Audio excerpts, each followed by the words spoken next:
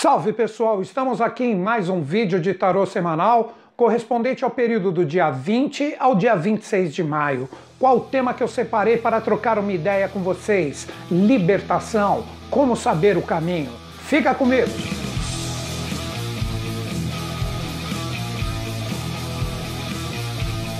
Nesta semana nós temos dois momentos astrológicos de grande relevância que vamos transmutar na linguagem de dois arcanos. Nós temos o Sol ingressando em Gêmeos, que ativa diretamente o arcano 7, o carro, e também nós temos a retrogradação de Saturno, que faz com que o arcano 20, o julgamento, entre integralmente em revisão.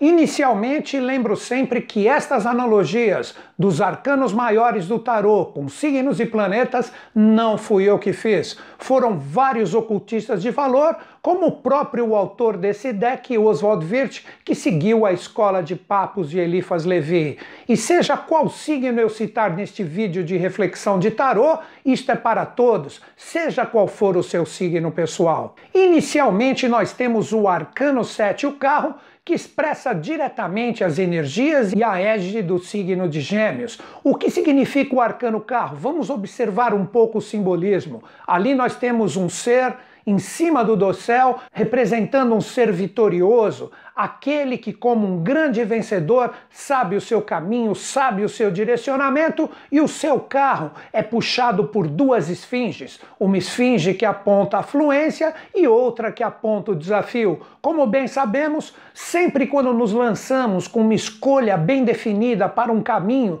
que é importante para nós, tanto as fluências como os desafios estarão em jogo, isto que representa a força desse ser vencedor que está ali no carro. E quando nós pegamos o simbolismo do carro, nós temos sempre o que? Como próprio tema. Você sabe escolher o caminho? Essa energia esta semana está extremamente forte, então nós devemos pensar nesse arcano com todo esse movimento astral de que forma? Seja qual for o caminho escolhido, nós sempre vamos ter os percalços e também os caminhos bacanas. Mas vamos pensar diretamente no arquétipo do carro, que é o nome do arcano. Sempre quando nós pegamos um carro, nós temos um caminho, nós temos um lugar para ir, mas não significa que nós devemos fazer sempre o mesmo caminho. Vários caminhos vão estar em jogo. Nós podemos pegar um caminho mais curto, um caminho com menos trânsito, etc isto que nós devemos pensar em relação às nossas escolhas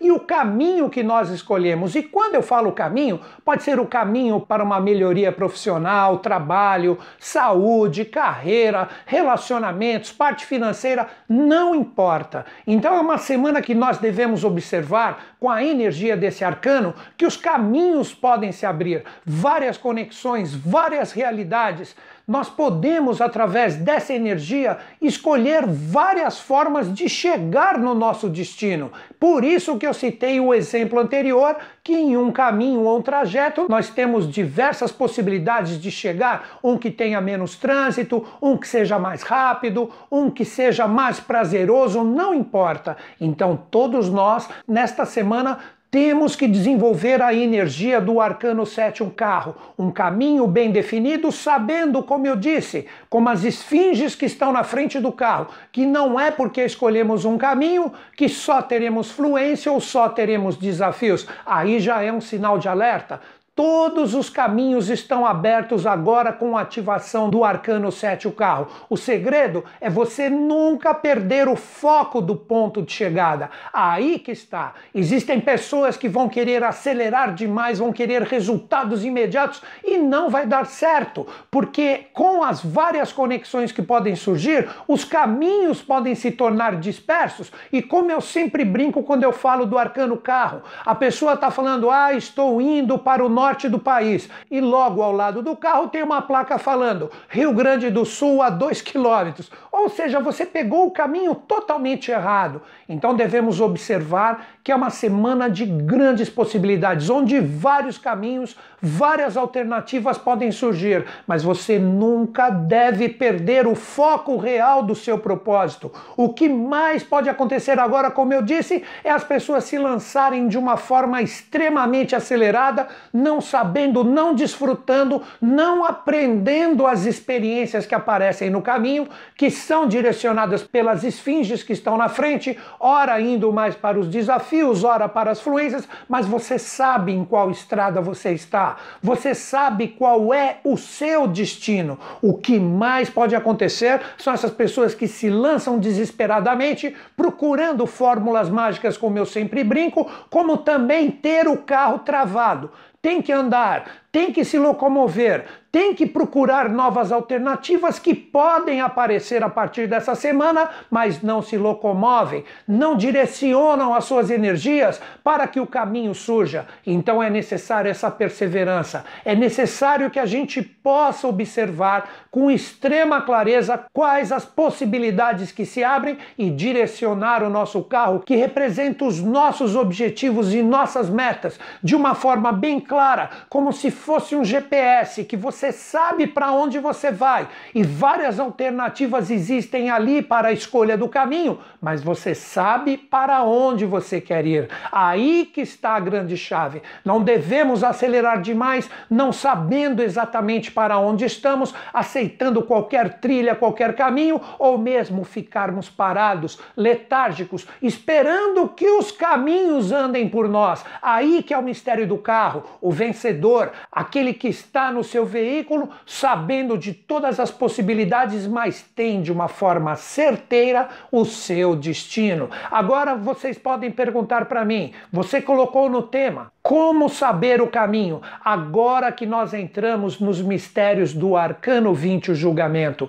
Quando olhamos esse arcano que representa a força de Saturno, que entra em revisão, a gente observa as pessoas escutando a trombeta do anjo, se libertando das suas amarras e saindo dos seus caixões que representam todas as imposições vigentes, seja pela mídia, seja por pessoas, seja por quem for que na verdade querem que você fique aprisionado e não seja você mesmo se lançando com a proposta do seu mestre interior, que representa esse anjo que está tocando a sua trombeta. Então, a grande dica para você saber o seu caminho: não aceite imposições, não seja dependente de nada. Procure estabelecer, tipo, é isso que eu quero, esta é a trombeta que toca dentro de mim, é como meu mestre interior será exteriorizado, e aí sim você se liberta. A grande libertação só ocorrerá se você tiver a coragem extremamente auspiciosa de escutar o seu mestre interior, que são as suas verdades, os seus anseios que você sabe que vibram intensamente dentro de ti e ter a coragem de viver essa conexão e colocar isso com um rumo certo na sua vida. Então é uma semana, além de sabermos o caminho ou destino que queremos através das nossas escolhas, as propostas surgem, mas o caminho só será trilhado de uma forma verdadeira se existir a libertação de dogmas, de fanatismos, de misticismos cegos, de escolhas infundadas que você não tem a capacidade de seguir adiante. Com tudo isso, se você souber se libertar e ser você mesmo com uma tremenda seriedade e principalmente responsabilidade das suas escolhas, tudo tende a fluir e você saberá achar o seu caminho. Então, fazendo um resumo, é o momento de movimentar as nossas energias, de ver as propostas que são lançadas. É o momento de termos seriedade e disciplina, de ter a força de nos libertarmos de tudo que nos aprisiona, de tudo que nos condiciona, de tudo que cria dependências que muitas vezes são colocadas de uma forma subliminar dentro de nós e aceitamos e são verdadeiras âncoras ou amarras que não farão o seu carro, que representa e expressa o que verdadeiramente você quer, seguir adiante para chegar no seu destino. Então, a grande proposta da semana: liberte-se, ache o seu caminho. Cuidado com as várias trilhas que podem aparecer, porque se elas não estiverem bem definidas, inevitavelmente você pegará o caminho errado e o seu carro, por mais força que tenha, não chegará ao destino. Basta você observar como as suas experiências se encaminham a partir dessa semana? Quais os caminhos? Quais as propostas? E se eu tenho seriedade de me libertar de toda e qualquer amarra que me aprisiona para que meu carro vá firme e forte em relação ao êxito, que é a chegada e o verdadeiro sucesso ou a realidade do vencedor que chega com extremo êxito com todos os caminhos que podem se abrir. Então é isso, vamos ficar antenados, as trilhas vão surgir, as brumas vão se dissipar, mas saiba escolher com toda seriedade, se libertando do que realmente te amarra e impede que você seja você mesmo. Então esta é minha dica de hoje para vocês.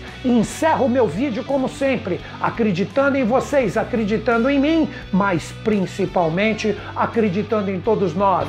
Grande beijo na sua mente e no seu coração. Até o próximo vídeo.